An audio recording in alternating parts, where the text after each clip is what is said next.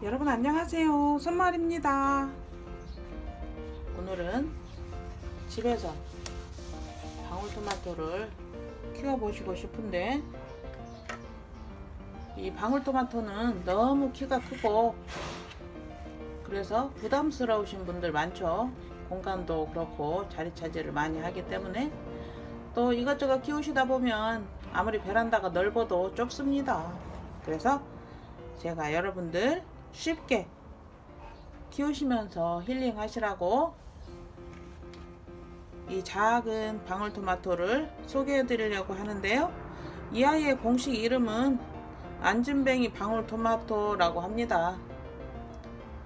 하지만 그런 용어는 조금 저는 안 좋은 것 같습니다. 그냥 키 작은 방울토마토라고 해둘까요? 아니면 땅따리 방울토마토? 그렇게 해두고 이 아이를 제가 사온 지 한참 되었습니다. 이 작은 포트에 여기에 심어져 있는 건데 한 개 500원. 그래 아주 작은 거였죠. 한 요정, 요정도? 아주 작은 모종이었습니다. 그래서 사다가 이렇게 여기다가 옮겨 심어서 키웠답니다. 제법 많이 컸죠? 이제 꽃도 피었는데요. 이렇게 꽃 보이시죠? 제가 이 아이 어떻게 키워야 되는지 알려드릴게요. 예, 이, 이 아이는 실내에서도 키우실 수 있고 보시면서 키우시면서 화초처럼 이렇게 힐링도 하실 수 있으니까 또 따먹을 수 있고요. 저도 이 아이는 사실 처음 키워보는데 제가 이만큼 키웠습니다. 그래서 제가 어떻게 키웠는지 이대로 키우시면 되니까 끝까지 잘 봐주세요.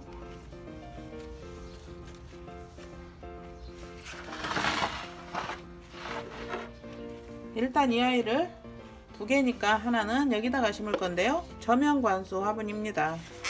이렇게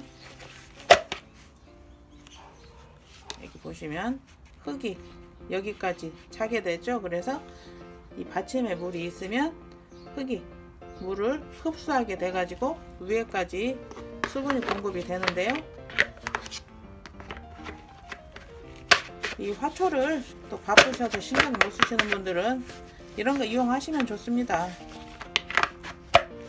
여기다가 구멍 보이시죠? 여기다 물만 담아 놓으면 되기 때문에 위로 물 안 줘도 되고 또 물이 흘릴까 걱정되시는 분들 물 주려면 또 실내에다 키우시는 분들은 조금 신경 쓰셔야 되죠 또 들고 왔다 갔다 해야 되고 하지만 이 저면관수 화분에다가 하시면 매우 간편하니까 여러분도 이거 한번 이용해 보세요 여기다 물만 부어주면 되니까 여기다 한번 심어 보겠습니다.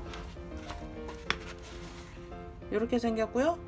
바닥에는 아무것도 깔지 마세요. 또 혹시 잘 심는다고 마사를 또 넣어주시는 분들 계실까봐 드리는 말씀입니다. 이거는 그냥 상토이고요. 제가 일반적으로 많이 이용하는 물을 넣어서 비벼 주었습니다. 이렇게 반죽을 해서 이 정도 약간 촉촉하게 너무 마른 걸 쓰시면 이 아이가 이제 물을 흡수하는데도 시간이 많이 걸리고 하기 때문에 반죽을 해서 쓰시는 게 좋습니다. 거의 채워주고 이렇게 간단하지만 처음 해보시는 분들은 또 어려움을 느끼시더라고요.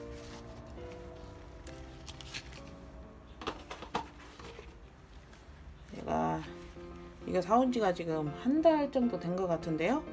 날씨가 밤에 막 춥죠. 그래서 낮에는 옥상에 놨다가 포트에 옮겨 심어 가지고 밤에는 실내로 들이고 했더니 그 사이에 이렇게 뿌리가 잘 컸네요.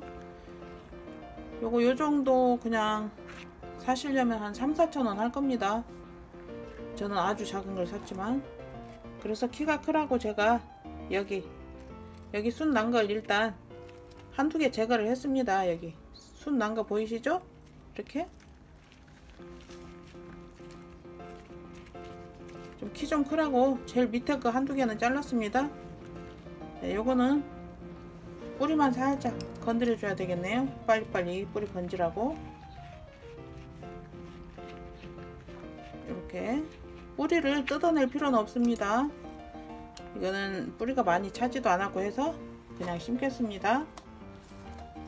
화초를 키우든 채소를 키우든 너무 또 키우기 어려우면 힘들죠. 그리고 빨리빨리 크고 해야 기분도 좋고 키울 마음도 나고 이러한 것들 한번 키우시면 요즘 같은 때에 자녀분들도 있고 하시면 더 좋을 것 같고요. 특히 아이들이 이런 거 잘하는 거 보면 굉장히 또 신기하죠. 저도 계속 이것저것 키우면서도 이 아이들이 꽃이 피고 열매가 맺고 하면 저도 신기합니다.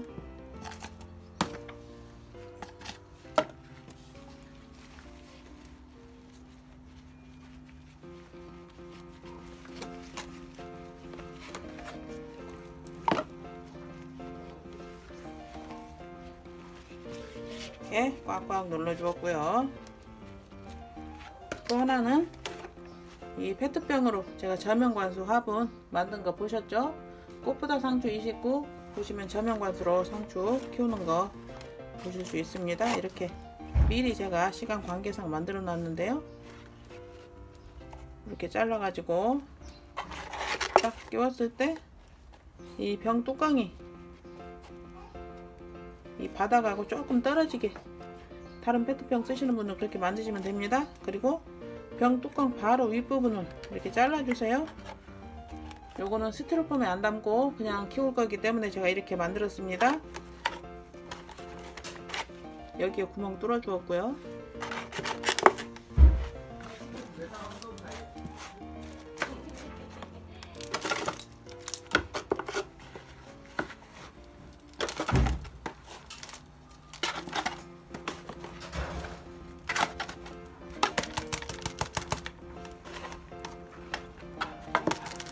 해서.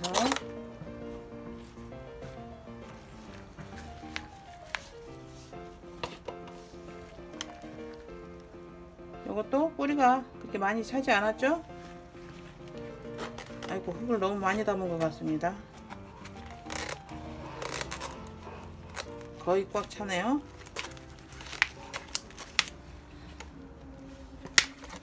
이제 이 정도에서 너 크는지 한번 보고 너무 작다 싶으면 또 빼가지고 옮기면 되니까 별로 걱정하실 건 없습니다. 제가 키우는 거 보여드리려고 하는 거니까 잘 안되면 큰 걸로 옮기겠습니다.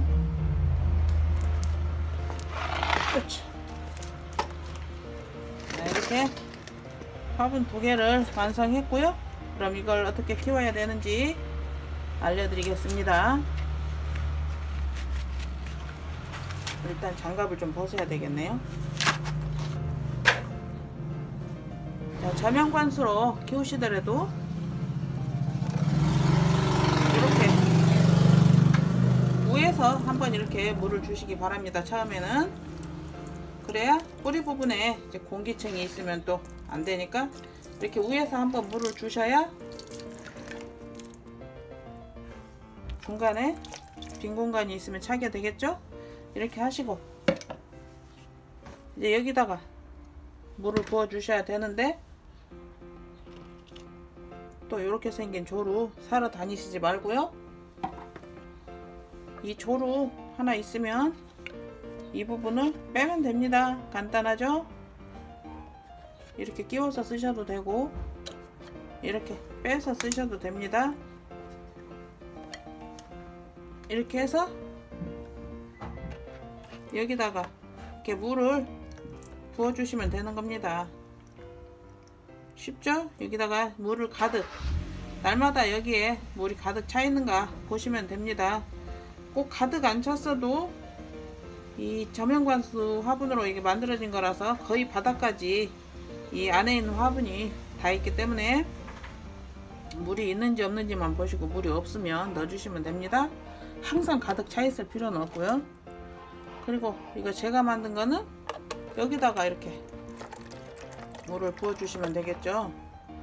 지금 이 정도 됐을 때도 지금 이 두 번째 칸에 중간쯤 물이 있어도 상관없습니다. 이 첫 번째 칸, 첫 번째 칸에 내려오면 이게 끝이기 때문에 물이 공급되지 않습니다. 그래서 첫 번째 칸 위로 물이 가게 항상 유지가 돼야 됩니다 여러분 아이고 아이고 빠져버렸습니다. 이렇게.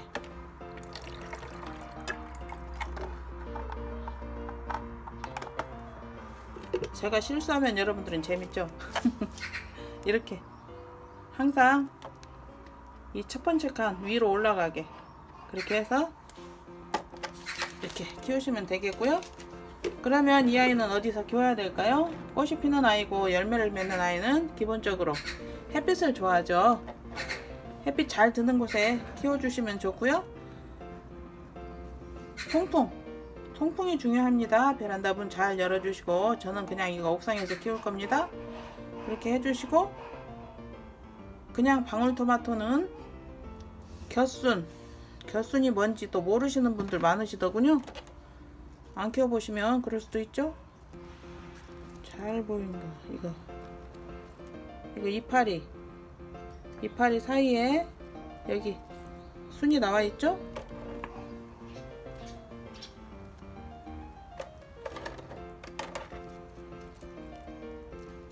여기 이거 보이시나요 여기? 이 이파리 바로 위에 붙어있는 곁순. 요거 제가 하지 마세요 여러분.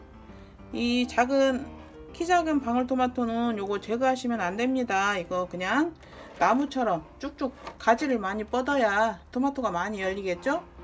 그래서 이 땅다리 방울토마토는 이 곁순 제거하시지 마세요. 그냥 요대로 키우시는 겁니다.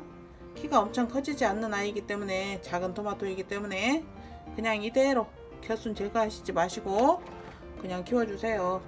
물만 잘 밑에 부어주시고 이렇게 하시면 예쁜 맛있는 방울토마토를 드실 수 있답니다. 얼만큼 커지는지 제가 여러분들께 자주 보여드릴 거니까 여러분도 이렇게 부담 없는 방울토마토 안전뱅이 방울토마토 한번 화초처럼 잘 키워보시기 바랍니다. 만약에 이렇게 안 만드시고 그냥 화분에 심으시는 분들 겉흙이 말랐을 때 물을 주세요. 과습하면 안됩니다. 뭐든지 겉흙이 말랐을 때 물 충분히 주시고 햇빛이 최대한 잘 드는 곳에 키우시면 아주 잘 자랄 겁니다. 항상 행복하시고요. 구독 좋아요 부탁드립니다. 감사합니다